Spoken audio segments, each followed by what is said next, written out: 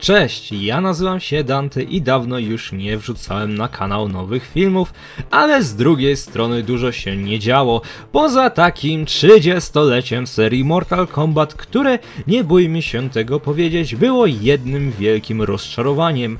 Jedyne co dostaliśmy to półtora minutowy zwiastun, w którym mogliśmy zobaczyć gameplay ze starych gier. Oczywiście na koniec tego trailera otrzymaliśmy reklamę dóbr, które możemy obejrzeć na HBO Max oraz na YouTube w przypadku Mortal Kombat Legacy. Dodatkowo dowiedzieliśmy się, że możemy już teraz zagrać w Mortal Kombat 11X9 oraz klasyczne MK. Cóż, jeśli grasz na PC i wystarczy ci wersja amigowa oryginalnego Mortal Kombat, to spoko, możesz ją nabyć na Gogu razem z drugą oraz trzecią częścią, ale w przypadku Mortal Kombat 9 robi się trochę ciekawiej. MK9 nie można nigdzie kupić, tak aby Nederzy lub Warner na tym zarobili, ponieważ podczas kupna klucza na Steam lub używki na konsolę na konto EDA i spółki wpływa wielkie, ogromne 0,0 dolarów euro, złotych czy afrykańskich pesos. Oczywiście na PC, tak jak wcześniej mówiłem, kupujesz klucz od osoby trzeciej i wszystko jest fajnie, możesz grać.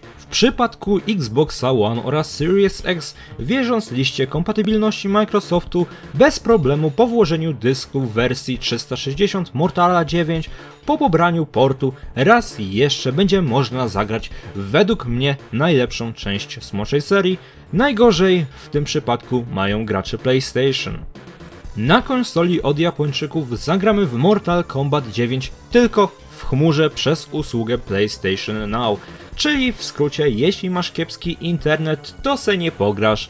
Największym ogłoszeniem jest, uwaga, możliwość zakupu kiepskiego serialu animowanego Mortal Kombat Defenders of the Realm. I to nawet nie w wersji fizycznej w ładnym steelbooku. To, co nam jest oferowane, to wersja digitalna czegoś, co można zobaczyć za darmo na YouTube. Takiego poziomu lenistwa i wywalenia na fanów już dawno nie widziałem.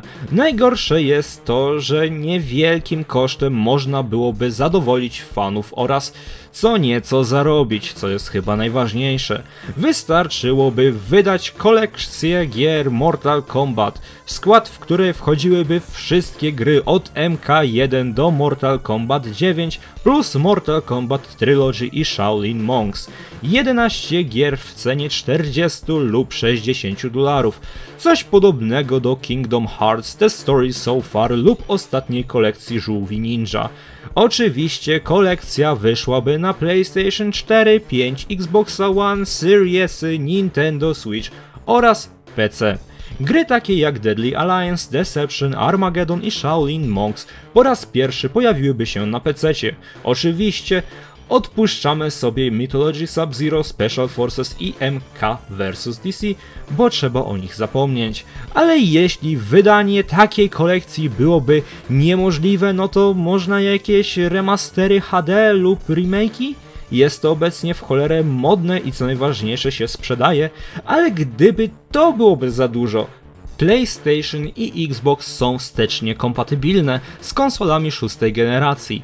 Disney parę lat temu wrzucał gry Star Wars, Xboxa i PS2 do cyfrowych sklepów.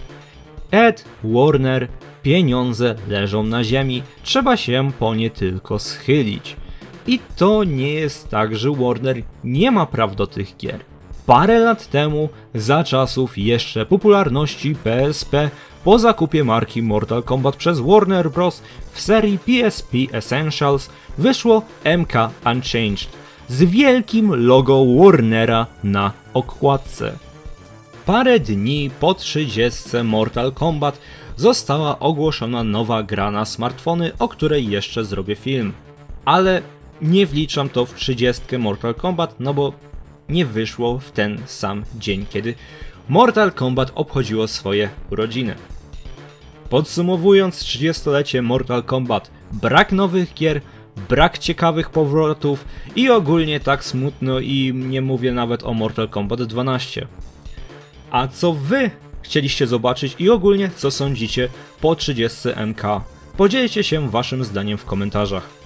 Teraz powinna pojawić się playlista ze wszystkimi filmami o Mortal Kombat oraz filmy wybrane przez algorytm YouTube. Nie zapomnij o łapce w górę oraz subskrypcji, jeśli chcesz być na bieżąco z nowymi materiałami na kanale. I ja się teraz będę z wami żegnał, z tej strony Dante. Cześć.